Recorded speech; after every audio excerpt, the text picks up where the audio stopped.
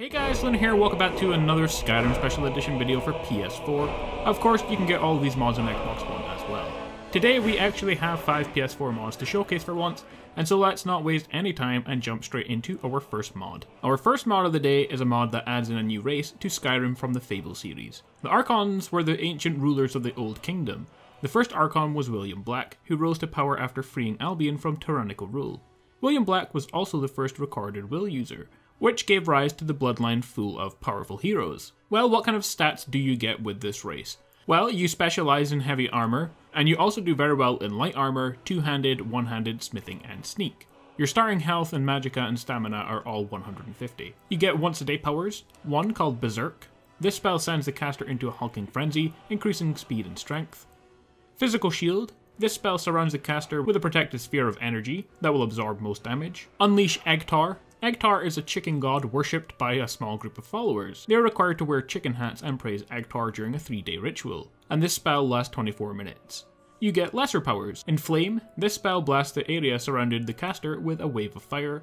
Fireball, this creates a fireball on the palm of the caster's hand, which flies towards the enemy target. Force Push, the spell creates a powerful blast of energy which radiates out from the caster. And finally Ghost Sword, you can summon an ethereal blade from the Netherworld to do battle on your behalf. You also have one ability, Archon Blood. You're the most powerful hero in Albion. Because of your ancient bloodline leading back to the ancient rulers of the Old Kingdom, the Archon, you are the master of three hero traits, Strength, Skill, and Will. This gives you a plus 50 to health, stamina, and magicka. Overall, a cool mod that adds in a new race for you to play in the game, and a cool one to start us off with, so if you're a fan of the Fable series, or you're just looking for a new race to play, then you can download this mod right now. Our next mod is a simple mod, but a fun one. Have you ever noticed that some enemy NPCs you kill can't have their armor looted from them? Well, this mod aims to stop that happening by making some of the more common armors you come across lootable and equipable. The mod now makes the Briarheart, Daedra, and Dremora, Astrid outfit, Summerset Shadow armor, Thief armor, and Draugr armor now lootable from enemies that you kill. The mod also gets updated and only a few hours after downloading, the Greybeard armor was also added, so this is a work in progress. Once you have the armors, you can either sell them or equip them just like regular armor. A fun mod that makes things a bit more immersive. Our next mod adds in a useful conjuration into the game, the Conjured Dragon Priest and Conjured Dragon mods, so they're actually two separate mods. So these give you spell tomes that allow you to summon two powerful new summons into the game. The Dragon Priest summon allows you to summon the priest for 60 seconds, but the dragon can be summoned for an entire day, which is really cool. Both of them are not too overpowered either, so it keeps things well balanced, so anyone can use these summons whether you're playing with cheats or a realism playthrough, you can have fun with these mods. Next up we have another really really cool mod actually, and that is Craftable Everything. The Craftable Everything mod adds a wide variety of playable, craftable, temperable, and enchantable items, as well as playable spells and learnable enchantments. Remember the Dragonborn and Dawnguard DLC versions are also available to add all of the stuff from those DLCs as well, which I have installed in the video. If you saw yesterday's video, you might remember the complete smithing mod for Xbox One that added in all the armors in the game to the Forge, that never used to be craftable. Well, this mod adds in all of those and a lot more stuff. So you don't have to feel bad about Xbox One getting some cool mods, because this one is even better. Some of which I will tell you guys, but there are too many to list all of them, so we'll just go over a few. For weapons and armors, it adds things such as Dawnguard, Vampire, Cultist, Blades, Nightingale, Falmer, Falmer, Priest, and Ancient Nordic clothing, armors, and weapons. So there's loads of stuff right there. Along with loads of unique armors and weapons like the Psijic robes, Miraak's and Nocturnal's armors and weapons, Greybeard's robes, Harkon's sword, Champion Cudgel, and loads loads more.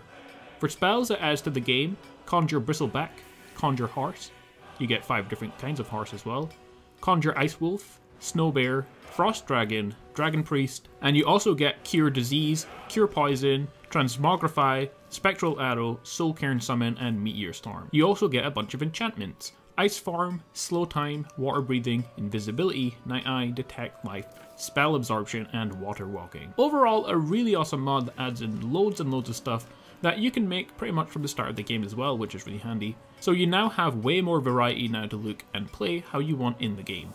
Keep in mind most of the stuff you make is unenchanted versions of them however, but keep in mind you can still get the enchanted versions in the game, so it's not really that big deal. The good thing about unenchanted things is you can have the unique armor and weapons, but you can put your own enchantments on them. So this mod I definitely think everyone should definitely download. Well guys, our final mod of the day is a player home. something again we don't see a lot of on PS4. The Riftfalls Manor is an awesome player home located, well, in the Rift. However, you can see from the video, it's got a spectacular backdrop to the house, making it look very awesome. On the outside you have a watermill that acts as a place to hold your smithing area, along with plenty of seating. After all, with those spectacular views, you're probably going to spend a lot of time here. The house on the inside isn't really big and extravagant, it's a regular and cozy player home, but I have to say it's laid out and decorated very nicely. The house comes with a kitchen, dining and living area. The upstairs has two beds, along with storage, shelves and weapon racks. The house is also connected to a tower that has another cooking area and a third bedroom, which is kind of like the master bedroom. On the outside is a crafting and enchanting area, and another smithing and training area. So this house has everything you need, including a cave as well. Overall, a really, really nice player home that has all the essentials you need in a player home, but the views and the location of the house are some of the best around, and this mod is worth downloading and checking out for yourself. Well guys, there you have it, 5 brand new PS4 mods from the last 24 hours or so that are worth downloading and trying out. As always, like, comment and subscribe, and I will see all you guys tomorrow for another Skyrim console mod video. See you all then.